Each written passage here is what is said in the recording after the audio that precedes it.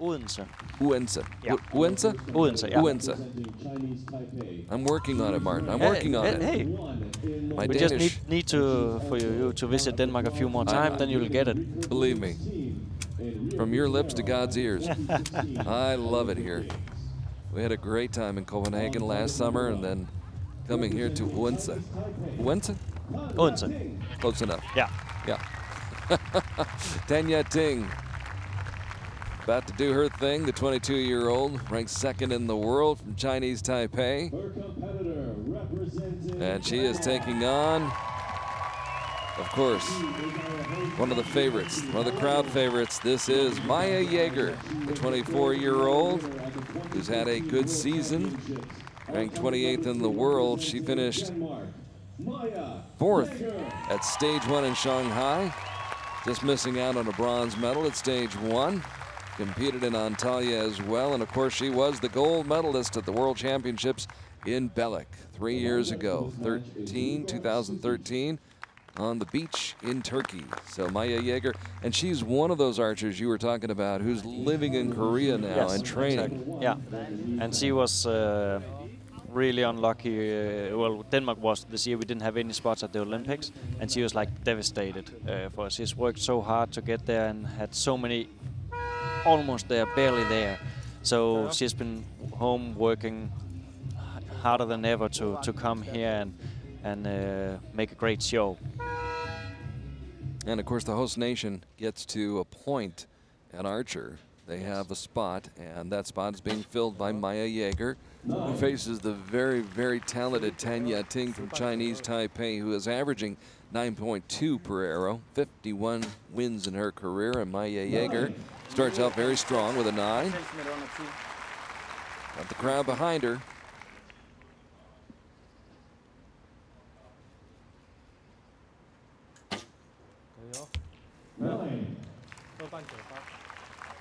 Solid start for Tan Ya-Ting.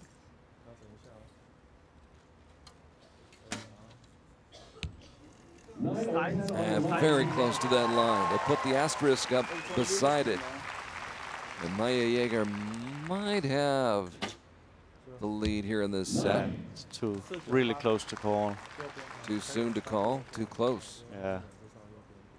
We'll wait for the judges.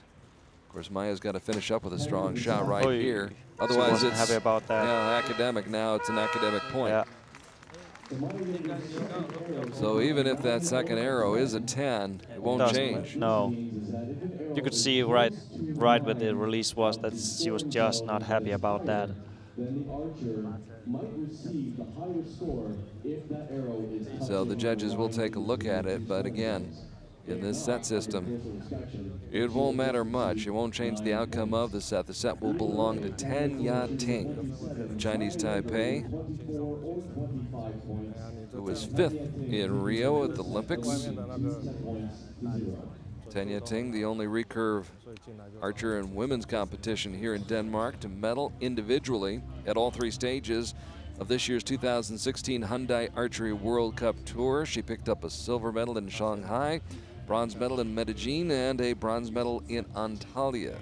That's consistency, Martin. It's uh, amazing Incredible season. consistency. Yeah, exactly. Especially in this high-end game, that it's like there's so many that can shoot on that level. and So for you to be there all the time, it's amazing strength.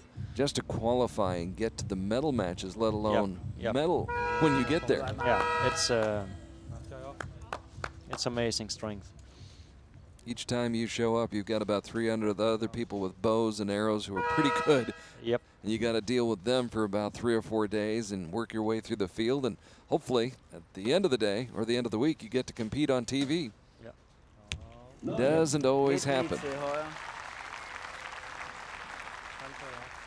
And nobody, including Martin Damsbo, takes that for granted. Nine.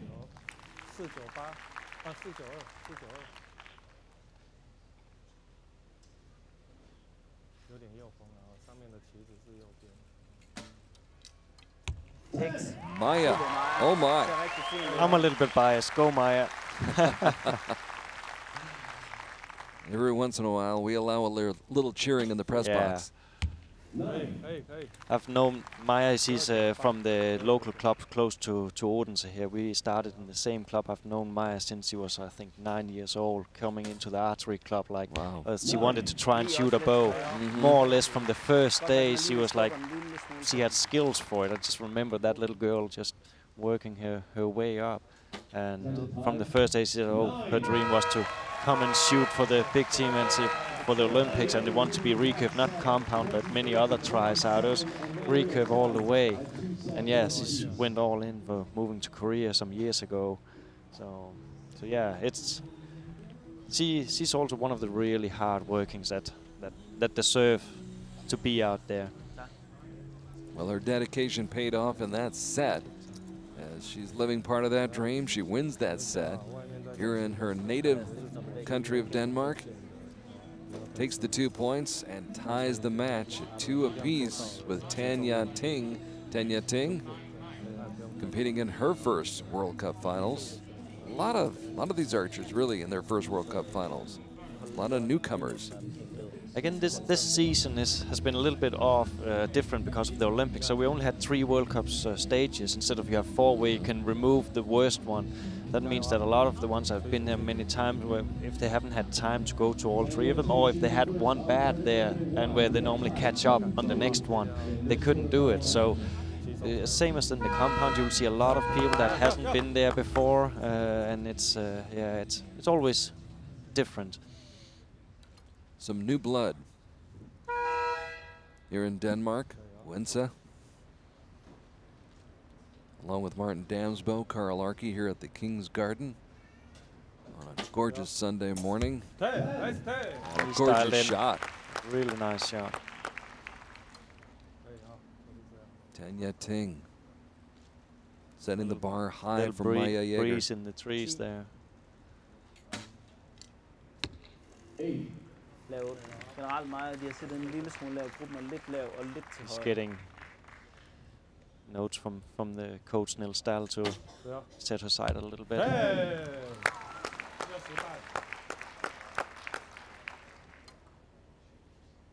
Tan Ya-Ting following instructions perfectly.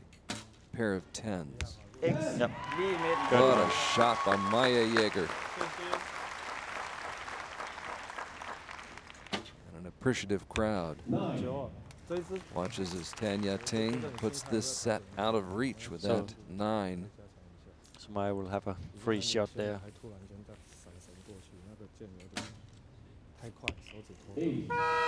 Good to get that out of the system. So she drops the set. Tan Ya-Ting, maybe more correctly, takes the set as she moves ahead 4 to 2 on set points.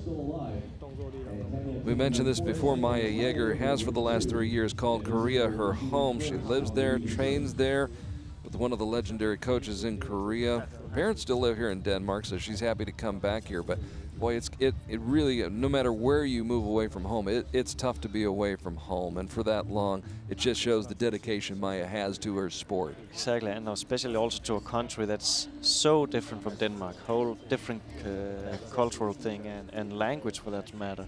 It's uh, it's amazing to see her and, and Johan that they're actually now sort of over at the training field that they're actually translating for the Koreans when there's TV interviews. It's uh, they're not perfect in uh, fluent yet, but but they're, They're good, good enough. They're good getting enough. there. Um, and that's that's also a way of dedicating and showing dedication to your sport that you actually go all in, throw everything behind, and just go for your dream. It takes a lot of bra- of uh, bravery to to do that. Maja Jager all in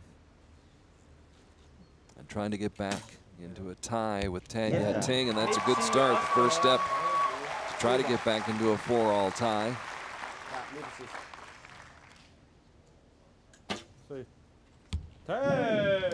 Matches that perfectly.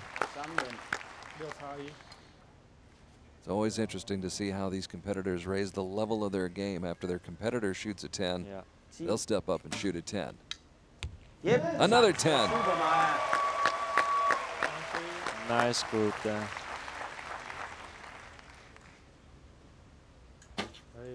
Ms. Tan with an eight. That's an opening for Maja to tie the, the match. Advantage for Denmark right here. Can she take advantage? She does. The set belongs to Maja Jager.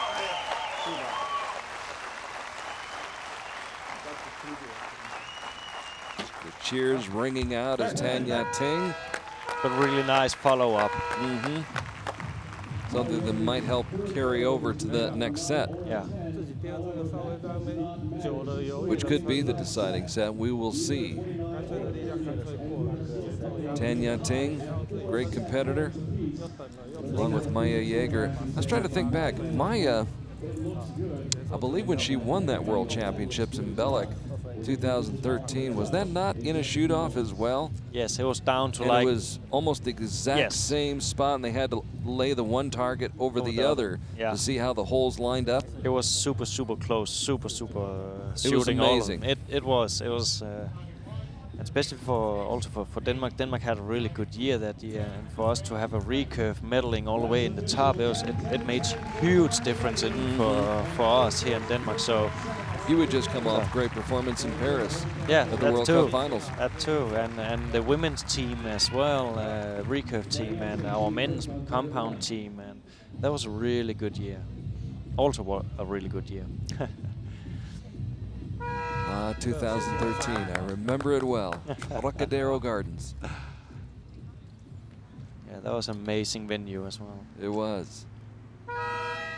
Great venue here in Denmark. Great setting, great weather, great archery. Tied at four. Here in the fourth and final quarterfinals match. Nine. Drops a little low for Tan Ya-Ting. Still a solid shot. See? Just hear the cameras buzzing. Yep. Now she's got them buzzing. Maja Jager.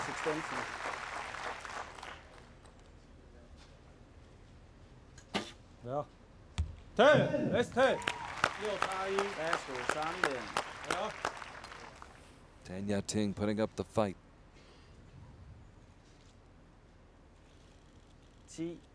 Good look at the grip by Maja Hey. Jager. Oh, that was good. Good throw. You could see her bow arm just moving out in the second.